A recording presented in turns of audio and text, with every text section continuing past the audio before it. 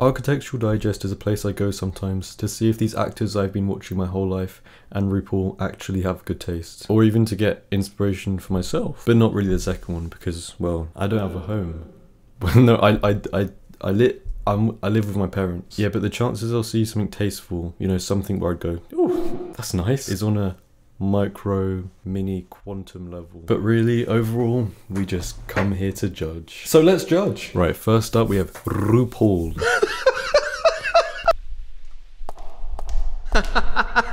Hello, AD.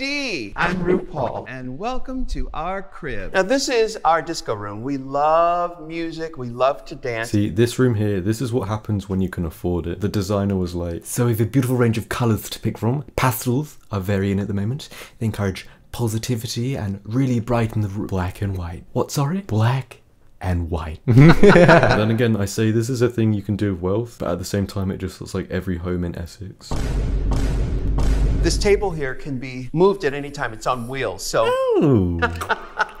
this is a stove that is made by a French company called La Cornue. How many times have you used that stove? How many times have you used that stove? Because to me, it looks completely clean and not like, oh, the clean cleaner's just been, but like never used. Do you have any idea how much I would love that? Look what I cook on.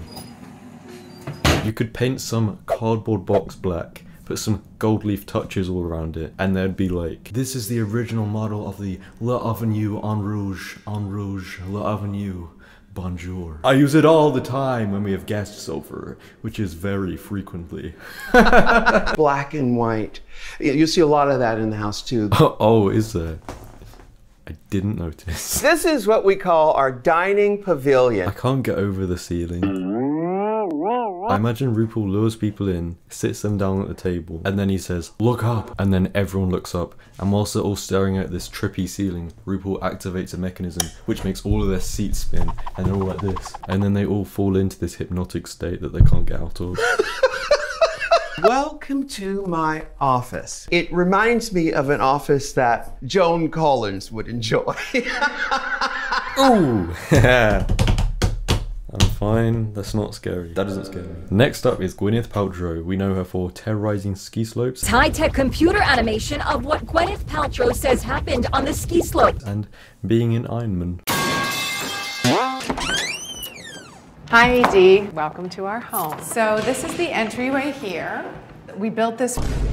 What is going on? Is there like a legal requirement where you need like 30% black and white in your house to reflect UV rays to defend from the climate crisis? That's not funny, is it? I think having spent so much time as an expat in Europe and really falling in love with Georgian proportions and those kind of details, I, I really wanted the entryway to feel like its own special room. But then again, this whole area, if not a bit subliminal, is quite nice. I mean, don't get me wrong, I'll take it. you know, if anyone's giving this up for free, I'll take it. And this chandelier, which I can't decide if it looks like a grasshopper Ah, yes, a grasshopper. This is the kitchen. I love it so much. The heart of the home. This is Portuguese tile. It's reclaimed tile. This is our reclaimed tile. We uh, saved it from this Syrian village and uh, absolutely beautiful. When the light hits it just right, it makes this beautiful colour that can't be recreated anywhere else. And I think it's just absolutely wonderful. Really nice. Someone told me that your ancestors actually raided the village and stole the tiles.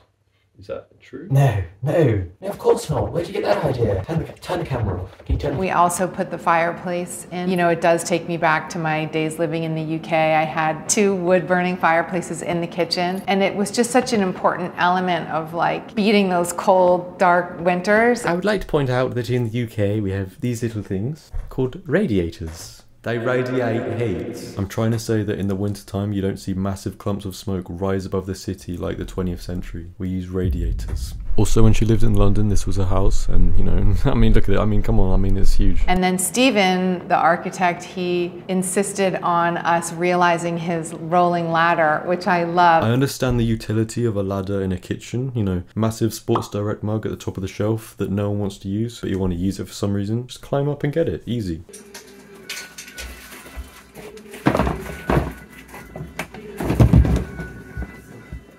I don't know what it is with these homes, but there's always just a huge plant in the middle of a room. Like in a normal home, you just have a little house plant in the corner, like. But in these homes, you have like a boom, big, huge boom plant. Ooh. Imagine this: there's a big pot of boiling cooking oil. You brush past the plant, which causes the cooking oil to plummet down onto little Timmy, who then turns into deep fried little Timmy, and he's like. So this is the living room. This far is I again I found this I found the inspiration on the internet. I don't know what it is. Maybe it's almost two decades of my dad filling my head with every health and safety concern he can think of. But when I see that, I see death, danger, and destruction. I'd hate to think what would happen if little Timmy went anywhere near it. Ah, I think I just damaged my pituitary gland. This couch, I don't remember where I first saw this couch. Oh my god! If you looked at that table wrong, you'd need 12 weeks of intensive recovery. Look at that! Yeah. Oh, let me pour some coffee. Oh!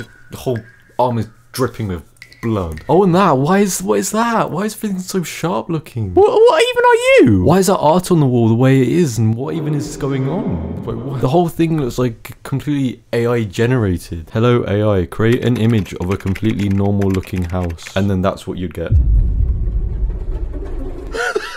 And we actually use this all the time.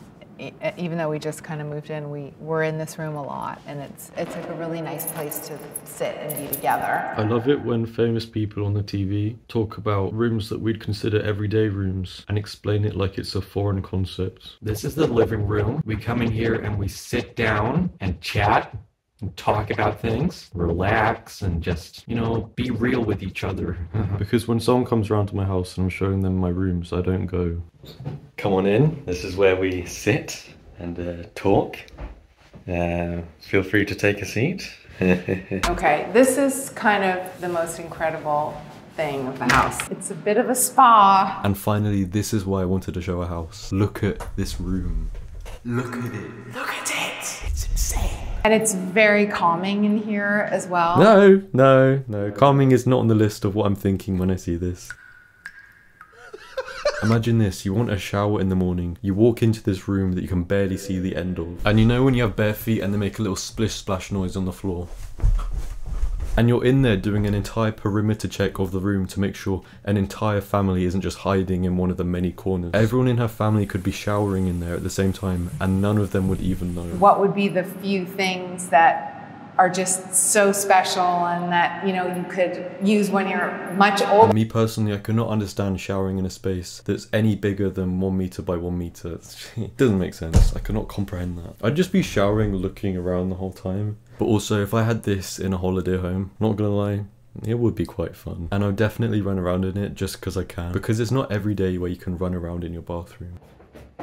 This is my bathroom. Um, bath and shower here. Toilet, if you're feeling really hygienic. And you can wash your hands around here. And yeah, that's my bathroom. Also, you got some reclaimed tiles right here. Where did we claim them from? The shop. Robin and Stephen found these amazing tiles. They're handmade, and I love all the details that they had done. Yeah, but also I can just imagine slipping and falling and hitting your head. Oh. Okay, well that was Gwyneth Paltrow's house, and it was quite nice and tasteful for the most part. Uh, you know, in my opinion, whatever that means. You know. Oh, actually, Aaron Paul's house. Let's just let's just look at that quickly. Hey, AD. Oh, that's nice. Broke ground a little over three years ago and just Oh, look at that. two black bears that live in the neighborhood, so we'll see them every now and then. Oh, look at that. I can't even see it and I already know it's nice. Okay, so those were some homes. That was me watching people talk about their homes. Thank you for watching. Well, AD, thank you so much for stopping by. It was a real pleasure to have you. And I have to go make some meatballs. This is my dining pavilion. You know what? I don't want to talk about it.